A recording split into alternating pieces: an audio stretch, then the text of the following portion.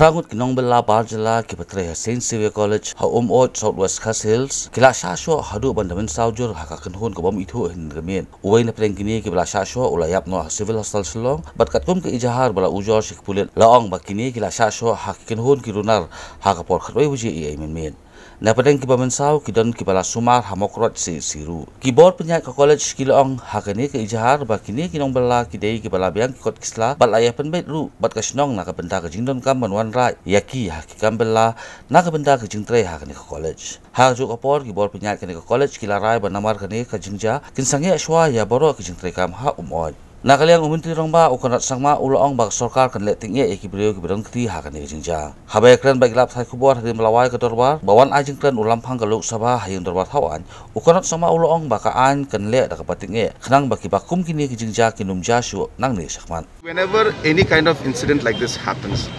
these incidents are being done by individuals who have or will be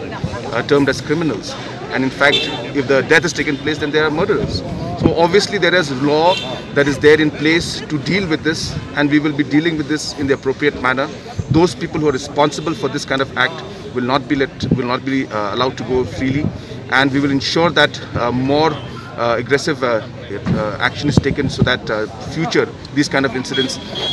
don't happen and the people who are involved in this as I said will be brought to justice.